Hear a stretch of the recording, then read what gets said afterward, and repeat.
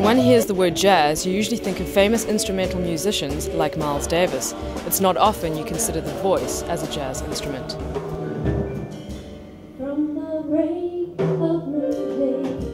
The Young Voices of Brandenburg is a German jazz choir of 20 young voices touring from Berlin. They perform a cappella as well as solo and chorus songs accompanied by a piano trio to create a unique musical experience. The choir is conducted by jazz vocalist Marc Secara.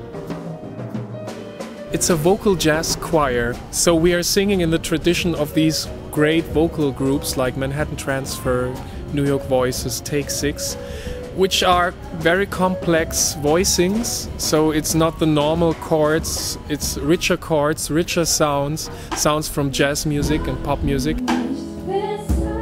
Although their jazz singing style has the conventional American influence, the performance maintains a traditional German flair.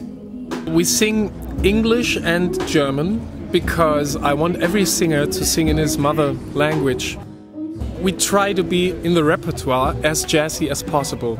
Sometimes we pick songs that come not originally from the jazz repertoire. It could be also pop song or folk song, but then we try to put it in a jazz version.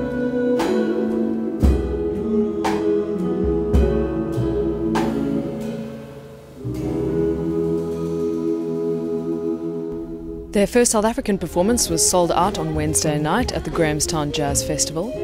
The audience was even wowed with a repertoire of African jazz. The group hopes to experiment more with this and to share their European style with local musicians.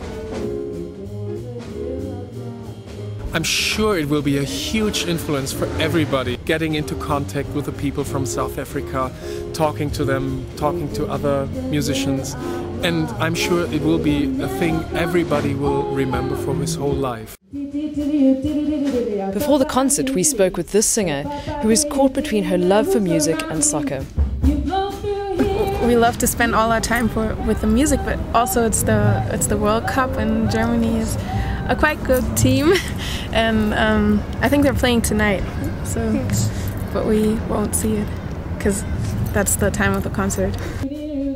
While Germany moves up the soccer ladder, the group will move to perform in Cape Town as part of the German cultural program for the FIFA World Cup. They hope for the same warm welcoming they received in Grahamstown.